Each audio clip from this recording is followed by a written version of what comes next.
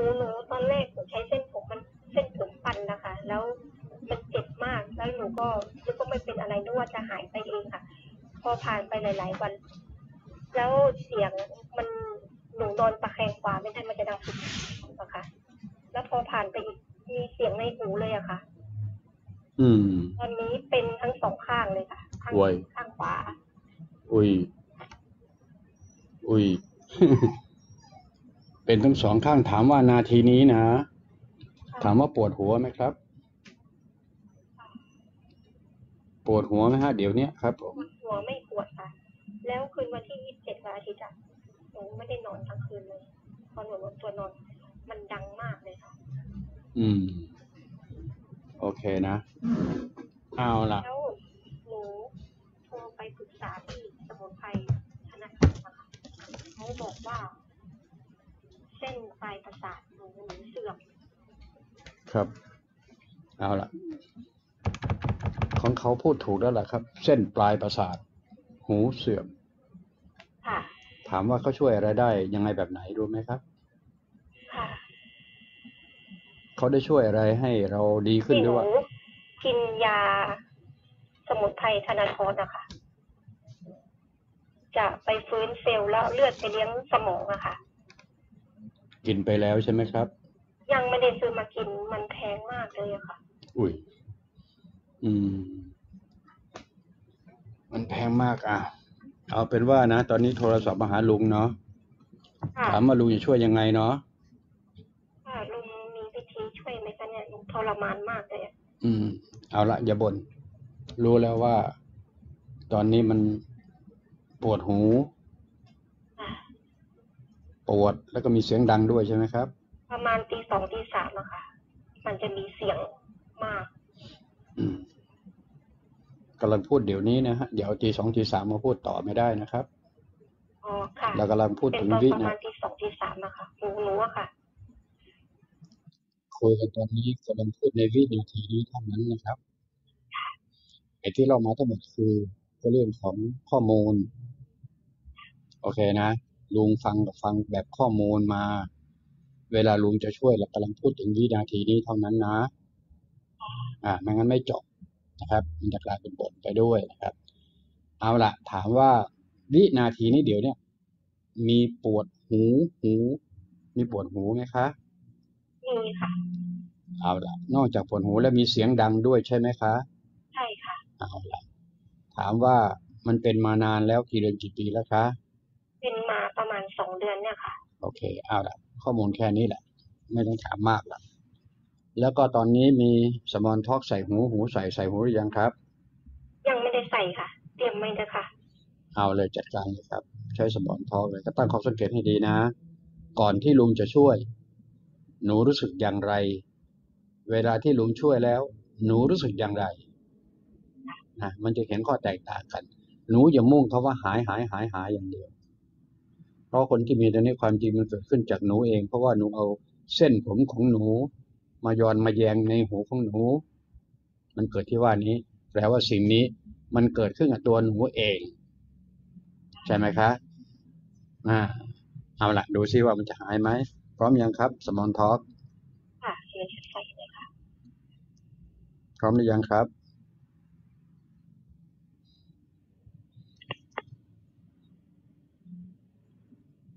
ค่ะ พร้อมแล้วนะคะไปแล้วค่ะเอาละไม่ต้องทำอะไรมาก หายใจตามปกติฟังเสียงลุงให้ดีๆนะ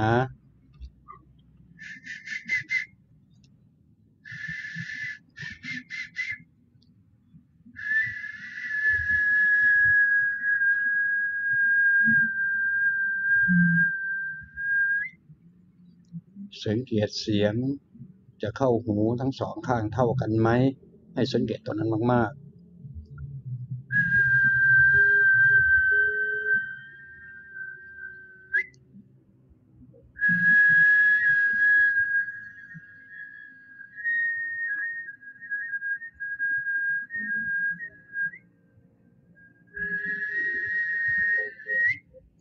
มือสองข้าง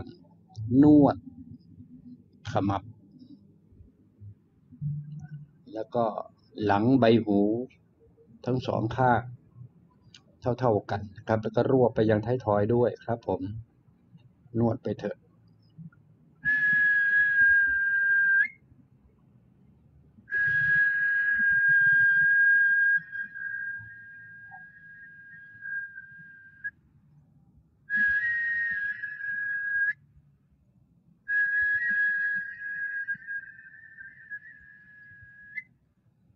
ก้มเงยแหงน ใบหน้าแงนเงยก้มก้มเงยแงนครับ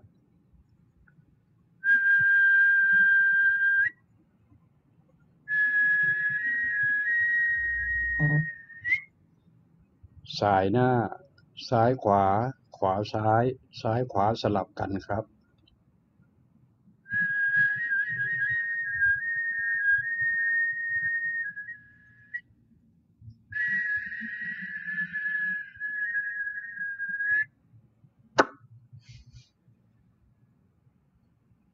ดี ขึ้นไหม ไม่ต้องตอบนะคะ สังเกตให้ดีๆ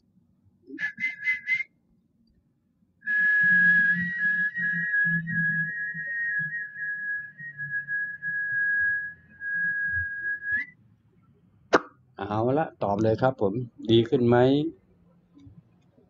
เอาสายออกไหมคะก็หนูถามว่าดีขึ้นไหมทำเองค่ะ ไม่ต้องถามย้อนตรงนี้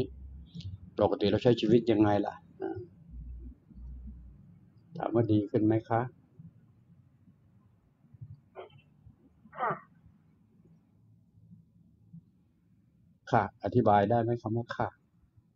ดีขึ้นค่ะ ดีขึ้นแล้วหายไหมคะทีเนี้ยยังไม่แน่ใจอะค่ะ ลุงก็ยอมทางนั้นนะ ถ้าหนูบอกว่าไม่แน่ใจค่ะ ลุงก็ยอมนะ ทุกอย่างมันเกิดขึ้นกับหนูเอง พูดคุยมาเป็นเรื่องเป็นราวเป็นคุ้งเป็นแควพอเวลาถามว่าในวินาทีที่ลุงจะช่วยถามว่ามันปวดหู ปวดหู แล้วก็มีเสียงดังด้วย พอเวลาเสร็จสับแล้ว พอเวลาลุงถามย้อนกลับ ลุงบอกไม่แน่ใจ ถ้าหนูตอบเช่นนี้ลุงก็ยอมนะ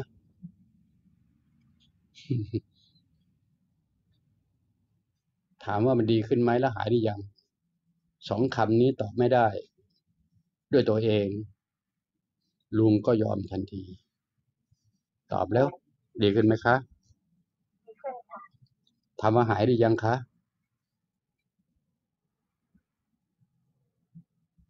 ปวดหูไม่ไม่ปวดค่ะ ฟังคำถามรู้เรื่องนะดีขึ้นดีขึ้นค่ะ ถามว่าหายหรือยังคะ จะตอบว่าไงอะอย่างงงฮะงั้นงั้นลงวางหูนะช่วยของเราจะทำหูก็ถามตอบขนาดนี้หนูก็ยังไม่โต้ตอบ จะให้ลุงใช้เวลากับหนูกับเท่าไหร่ล่ะคือหายก็ได้ค่ะ ไม่ใช่ ถ้าหนูตอบนี่หนูตอบแบบไม่พอใจหนูไม่ได้พอ ใจหายก็ได้ค่ะ มันได้ยังไงล่ะครับ ก็ทุกอย่างมันเกิดจากหนูเองทำไมหนูจะตอบไม่ได้ล่ะหืใช่ไหมล่ะ เออ ใช่ไหมฮะ เออ อย่างงง เอาเป็นว่าถามย้อนนิดนึง หนูรู้จักลุงจากไหนคะ จากในยูทูบค่ะ ถามว่าดูลุงมากี่วันกี่เดือนกี่ปีแล้วคะดูมาเพิ่งดูวันนี้ค่ะรับดูตอนแรก เป็นเสียงจิ้งหรีดแล้วหนูดูอีกสไลด์หนูดูอีกอะค่ะ เป็นอันที่สองคือที่มีเสียงในหูอะค่ะ ครับผมก็เลยจดเบอร์โทรหนูไปค้นหาเบอร์โทรแล้วพอได้เบอร์โทรหนูก็โทรหาค่ะ เอาละหนูทรมานมากเลยค่ะ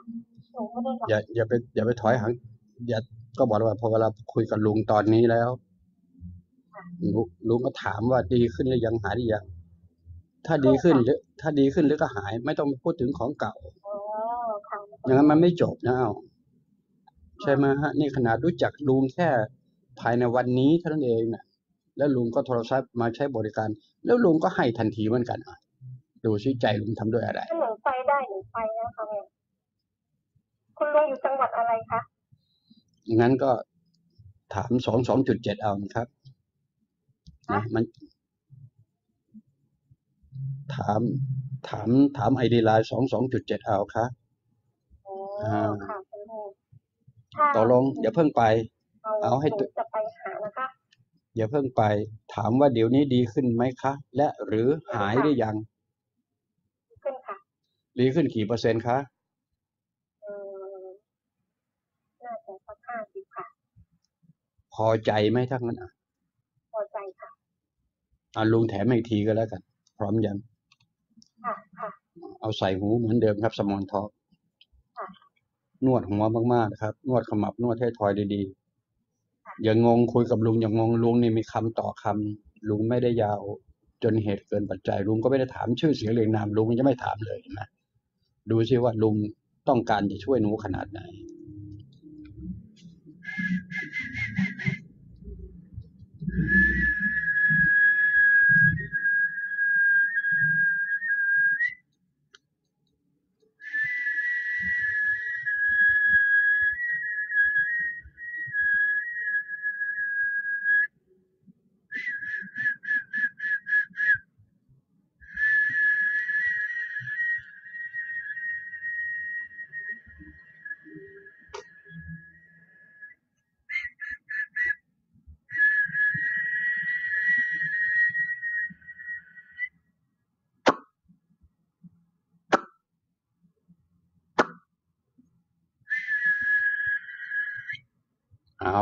ามว่า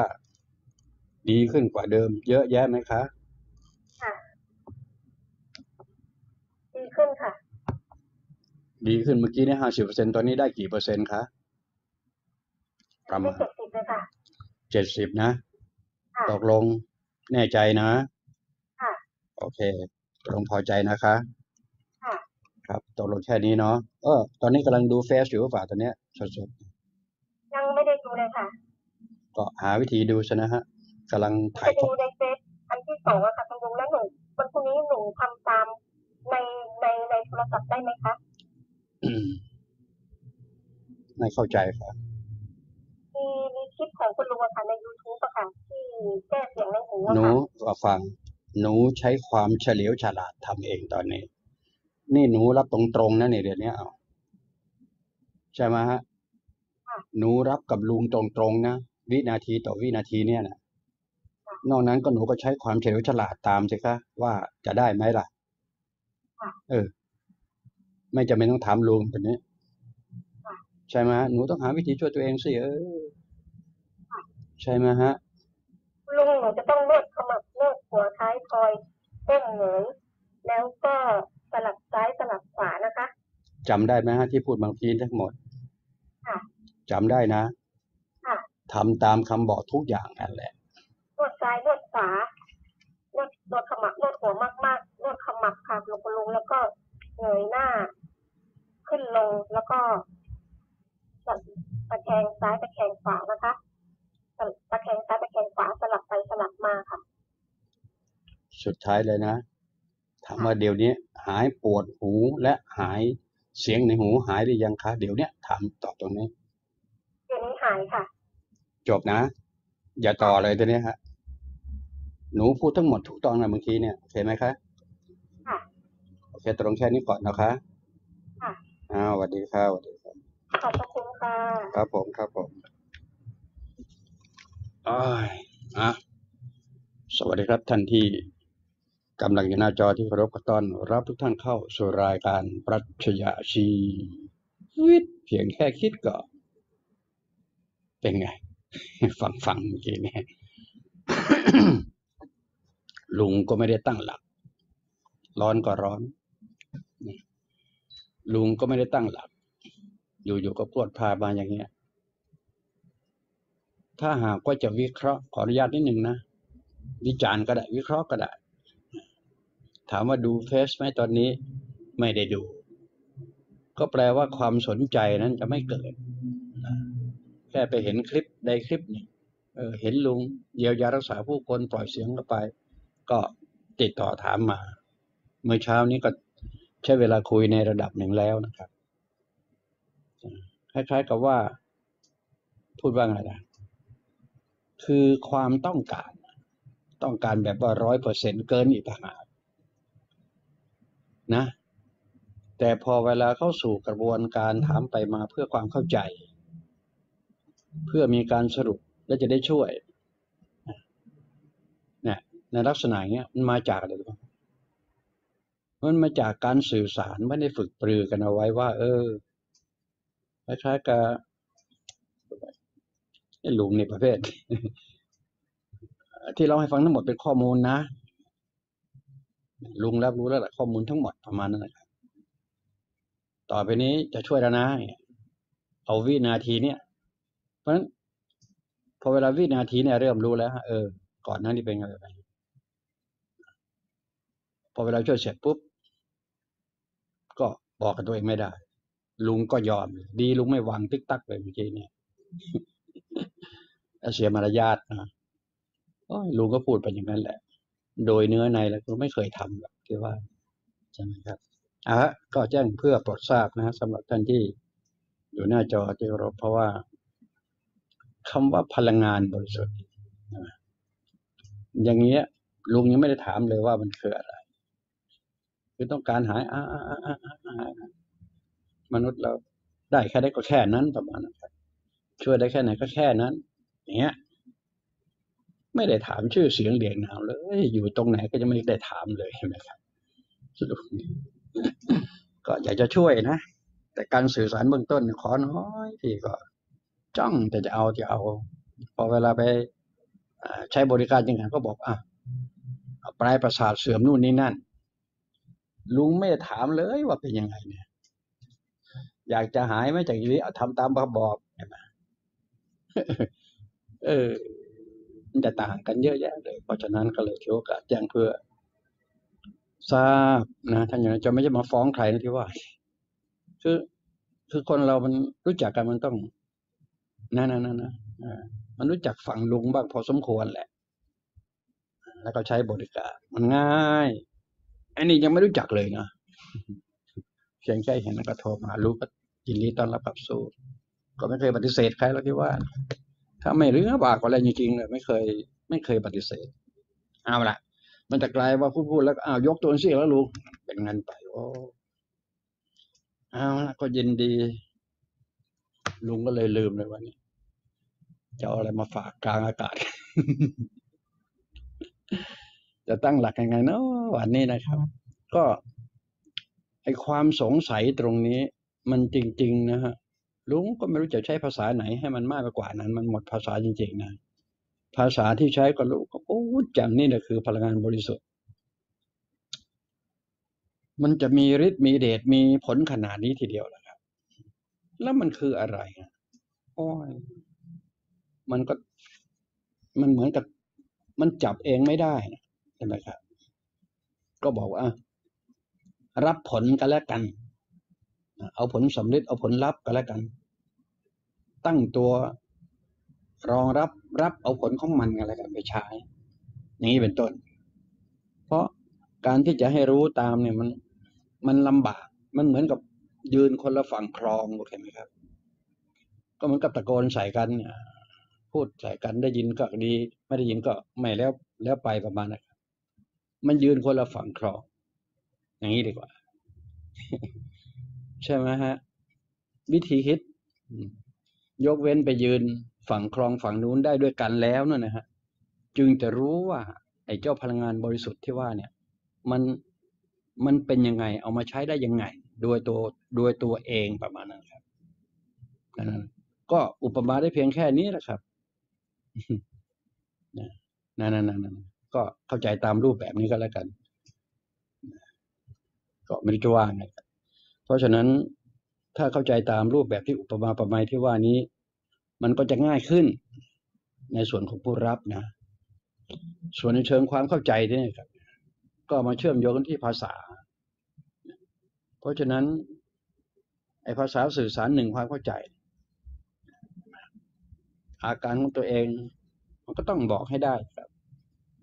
เกิดจากตัวเองแท้เลยเอาเอาเส้นผมตัวเองเนี่ยเอามาย้อนเอามาแย่เอามาใส่หูตัวเองปึ๊ดปึ๊ดปึ๊ดปึ๊ดไม่รู้ไปแทงตื้นแทงลึก แค่ไหนลุงจะไปรู้ได้ยังไง แล้วก็มีเสียงดังในหูแล้วก็ปวดด้วย ปวดสองข้างต่างหากก็เลย ใช้เสียงลุงก็บอกว่าเสียงลุงเวลามันเข้าหูเนี่ยมันจะจับ balance ให้ พยายามบอกเรามันจะปรับให้มันเองนะก็ค่อยๆฟังครับ ใช้สมอนทอล์กฟังนะฮะผมว่าจะดี แล้วก็ลดระดับเสียงเราเองครับ เสียงผมจะเป็นอย่างนั้น ก็พยายามบอกแล้วเสียงเป็นอย่างนั้น เสียงกับภาษาคนละเรื่องนะครับ เสียงไม่ใช่ภาษา แต่ภาษาคือเสียงนะครับ อืมอืม เช่นอย่างนี้เอาภาษาไหน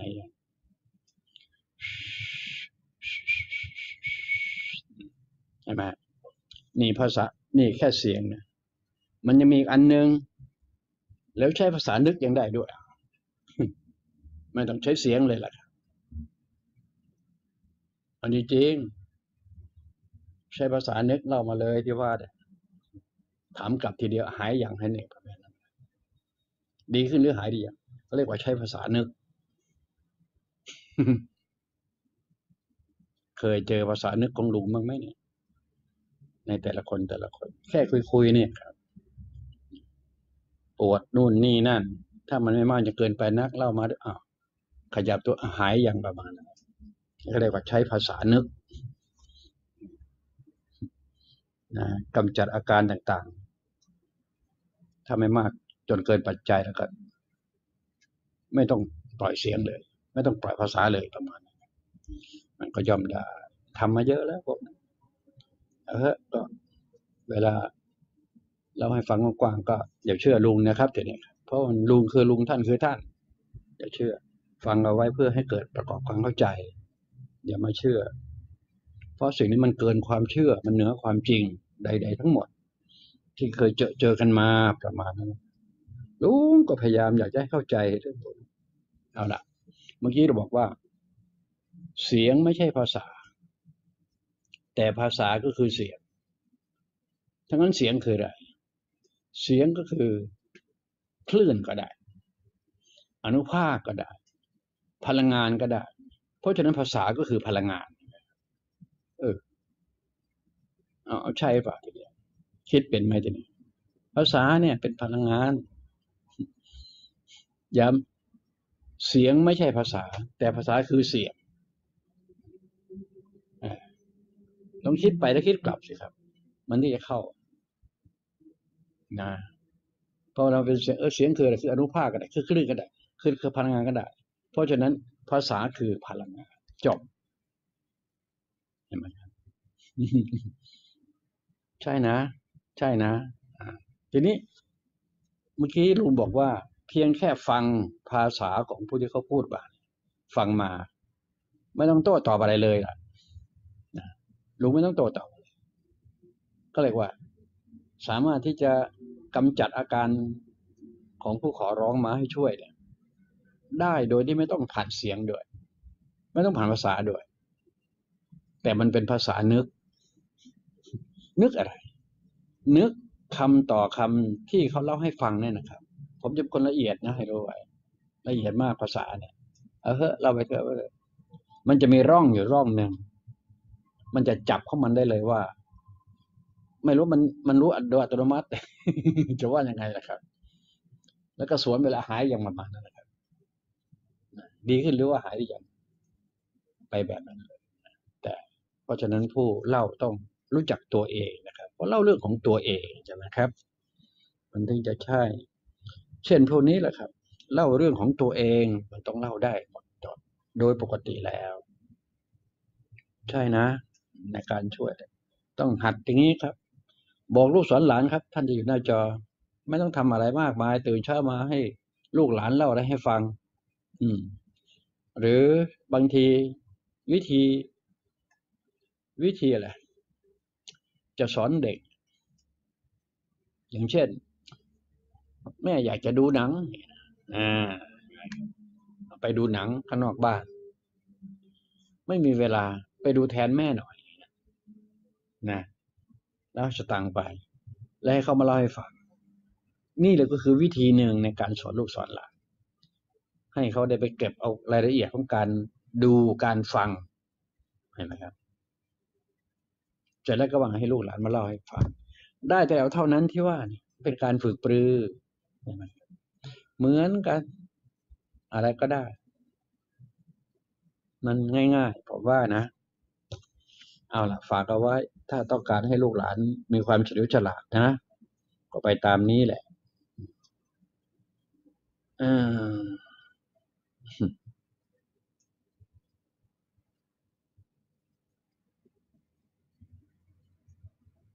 นะมันจะหลุดไปอีกทีนึงก็จะพาไปเข้าไปสู่ทางด้านพลังงานที่บริสุทธิ์ทีนึงนะฮะเสียงไม่ใช่ภาษาภาษาคือเสียง เสียงคือพลังงาน เพราะฉะนั้นภาษาคือพลังงานนะครับ ทีนี้พลังงานที่ลุงพูดถึงก็มีพลังงานบริสุทธิ์กับไม่บริสุทธิ์เห็นไหมครับ พลังงานไปบริสุทธิ์ที่มันออกมาจากทุกคนมาผ่านเสียงผ่านอะไรต่างๆนะครับ มันเป็นพลังงานที่ไม่บริสุทธิ์ทั้งหมดเห็นไหมครับ ทีนี้พอเวลาไปเจอพลังงานบริสุทธิ์ของลุงเข้าให้มันก็ มันเหมือนกับล้างล้างสวนสวนเข้าไปเลย มันจะเป็นอย่างนั้น เข้าใจภาษาไว้หน่อยกันแล้วกัน ไม่งั้น พอเวลาสัมผัสตัวตน มันก็ง่าย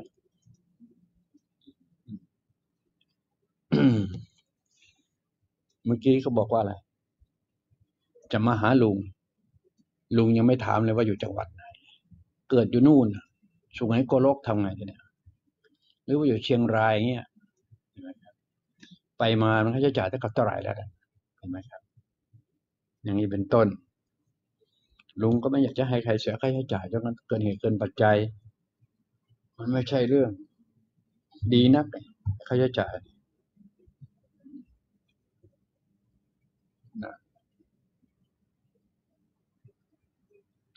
โอเค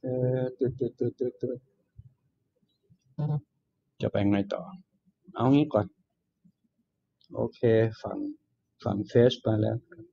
เอาถามตอบกันแล้วกันนะ ถ้าอยู่หน้าเฟซครับ เชิญครับ แล้วผมจะตามอันที่อยู่ YouTube ที่เนี่ยในชาว YouTube ว่าไงโปะโปะอึ๊บอึ๊บ ว่าจังไดชาว YouTube แล้วผมจะตามอันที่อยู่ YouTube โอเค มาแล้วอันนี้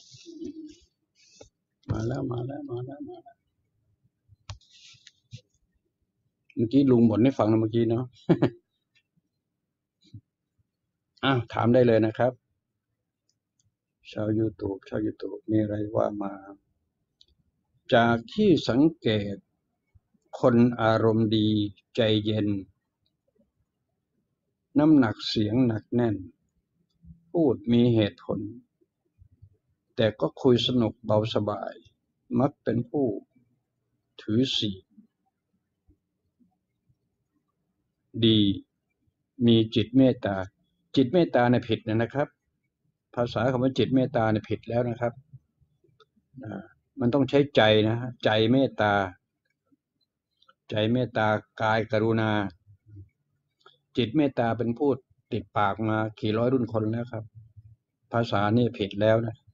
ต้องใช้ว่าใจนะฮะเมตตาเรื่องของใจนะครับจำด้วยจะเมตตาสูงซึ่งหนูพยายามฝึกทำแต่ทำไม่ได้ตลอด เพราะบ่อยครั้งก็จะหงุดหงิดหรือรับมือไม่ไหวกับบางคน ก็ มันอย่าไปคิดแบกสิครับ อย่าไปคิดว่าเราแบกเอาไว้สิครับ เราคิดว่าเพียงแค่สื่อสารกันเท่านั้นเองก็ไม่ได้แบกภาษาที่พูดกันในสื่อสารกัน มันไม่ได้หนักอะไร ไม่ได้แบกไม่ได้หามอะไรหรอกครับ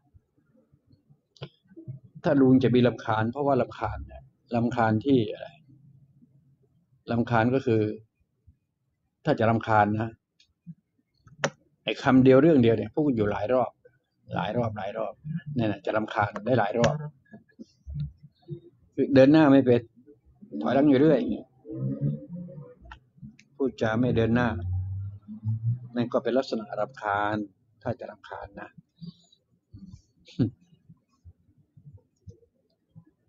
no, no, no.